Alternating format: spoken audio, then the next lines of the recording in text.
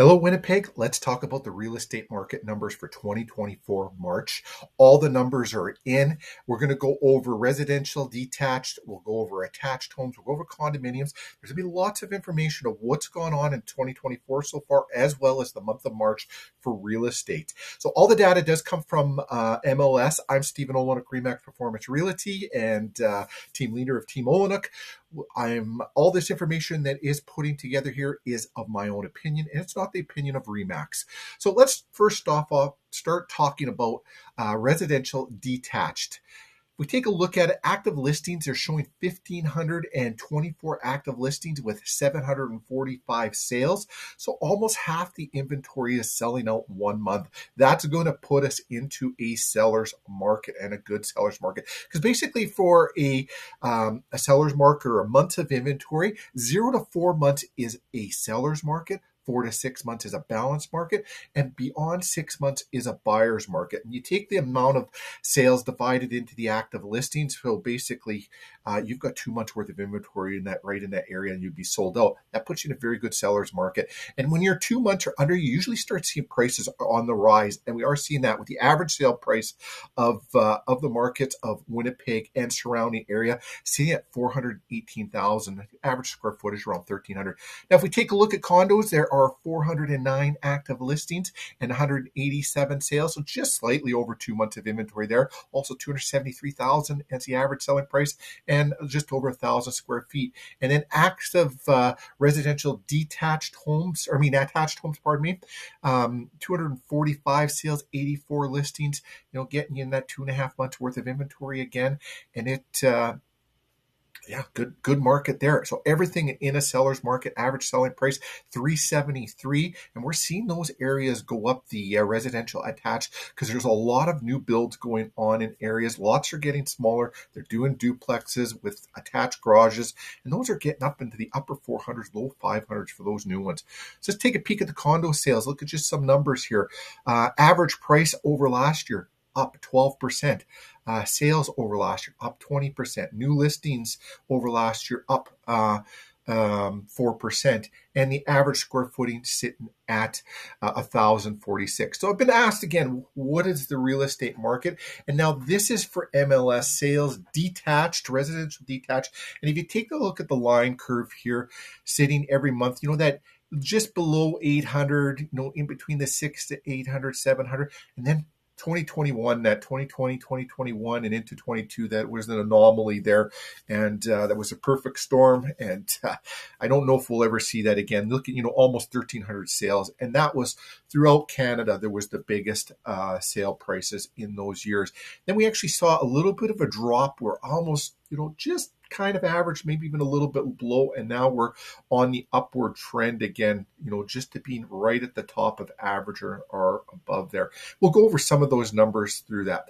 Now, broke down uh, into different areas, you know, all uh, home prices in Winnipeg and surrounding areas, showing rural municipalities average 386, northern part of Winnipeg average 341, uh, that northeast area 387, and uh, 486 for the southeast and 543 for the southwest.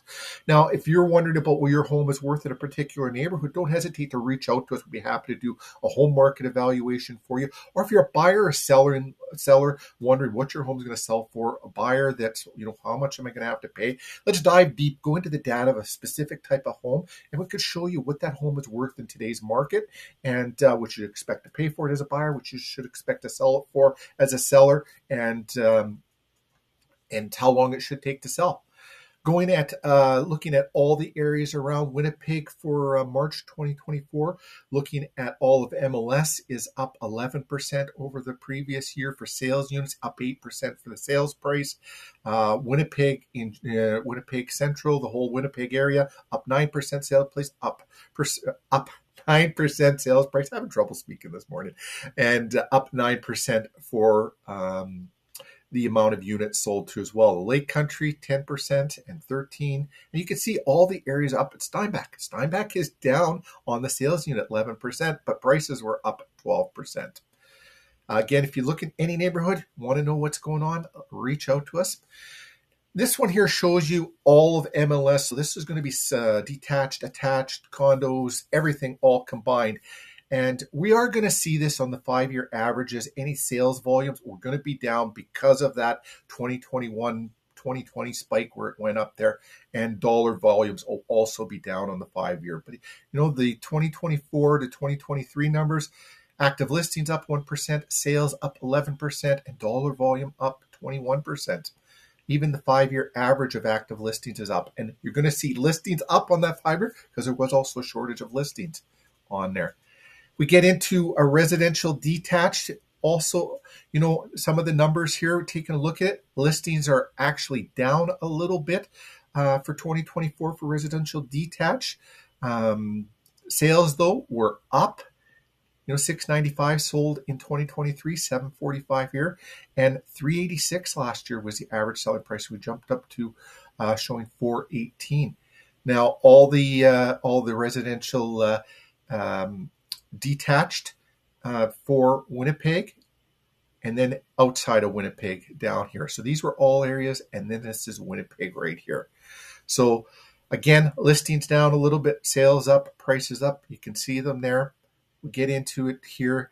This is uh, this first chart here is um, the month of March. This is January 1st to March. So you can see prices have jumped up in March and now as we go down here, this is condo sales. Again, all condo sales um, for MLS. And now Winnipeg and surrounding area. Now this is just Winnipeg and this is outside of Winnipeg.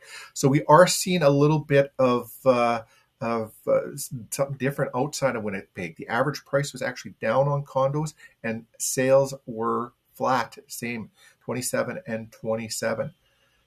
Taking a look at condo sales of Winnipeg and surrounding areas, month of March 273 and January 1 to the end of March 273, 320. Difference of $300 in it, so very close to each other. These are your residential attached numbers. Again, everything's showing uh, pretty much up. Active, other than active listings, are almost the same. If you look at sales, we're up 15, uh, 15%, 73 in 2023, 84 in 2024 and uh, also Winnipeg up. Outside of Winnipeg, again, we are seeing a, a little bit downward. Sales were down. Um, 29 sales last year, 18 this year, but yet dollar volume is up. Same type of thing. We're looking very close here with our numbers for uh, for attached homes. The uh, month of March at uh, 373, about a $2,000 difference from the beginning of January all the way through uh, to the end of March. So let us know what real estate questions you have. Are you thinking of buying, thinking of selling? Would love to have a conversation with you. Um, want to help educate you on the real estate market, help you with your decision making. And uh, there's a great saying out there that uh, people don't know how much you care until, or they don't care how much you know until they know how much you care. And uh, we just want to help you. Have a fantastic uh, day and uh, look forward to chatting you soon with our next real estate update.